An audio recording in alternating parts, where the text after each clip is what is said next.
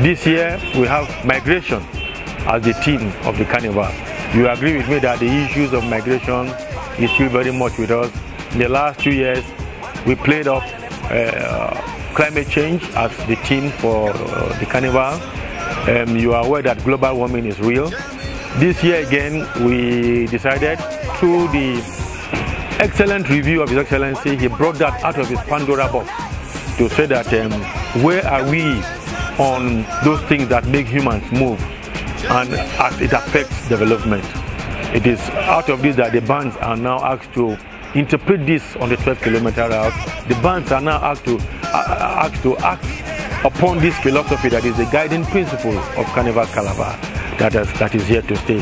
From the millennium year 2000, we identified this unique area of our competitive advantage, which is the Calabar Festival, the Christmas Festival. From that young administration, from that young team, from that young group, to change the landscape for Nigeria, to change the story for Cross Riverians and for Cross River State. That is where we are. And the bands will come out this time around to try to interpret the team using dance, using music, using color, using costumes, using makeup, and above all, using the beats, the jigidas, and that warmth that is unique to only Cross River State. That warmth that is African, and that cultural renaissance we want to create through this great platform that has made all humanity one. Received um, indications from our dear South African neighbors, from Kenya, from Ethiopia. Luckily for us this year, the Ethiopian airline, easily the strongest in all of Africa, is trying to partner with us. Uh, we've received overtures, I mean, years from Ghana. We've received years from Thailand, from China, from Mexico, from Brazil, um, a Caribbean assembled from the USA. About 22 countries are, are lining up to be part of the International Carnival Calabar after being on the road with us on the 28th of March. We're also having a team out of Dakar Carnival, the Dakar Senegal. It's an acrobatic group of young, energetic boys and girls who are coming to create adrenaline to pump in the hearts of the people. These are some of the things His Excellency is bringing to the table. He has introduced the, the, the bikers carnival as we are aware. He introduced the Formula K, which are speed cars that will run the city streets of Calabar.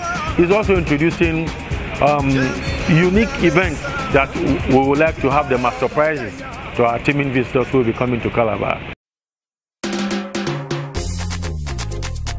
The socio-economic impact on the economy of Cross River State and Nigeria is huge, is uncountable because the employment uh, ratio kicks up, the hotels are fully booked, everybody is busy, and of course there is an unofficial truth between the good people and the bad people. What am I saying?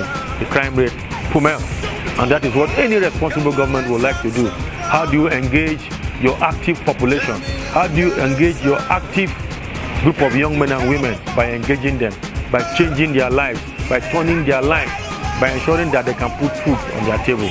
This is what is um, um, happening in Cross River State today. From July, August, when the rehearsals begin, when the mass camps come to life, they begin to make costumes, they begin to make beats, they begin to rehearse, you know, and then we take on the carnival uh, route itself to, to, to ensure that it is in order. His Excellency has also introduced through the overtures of the Federal Ministry of Trade and Investment the Buy Nigeria uh, segment, which is the commercial angle. The Buy Nigeria segment is that that has offered the Buy Made in Nigeria goods and services to promote that Nigerians, we can do it for ourselves. If you come to the free trade zone itself in Calabar, over 52 companies have set up already manufacturing or about to become manufacturing. Today we hear of uh, Afriphone, uh, made in Nigeria telephone that is Android and 3G and 4G. We believe that with this Buy Nigeria opportunity, Nigerians will have the opportunity also to begin to patronize their homemade goods and we'll take it from there.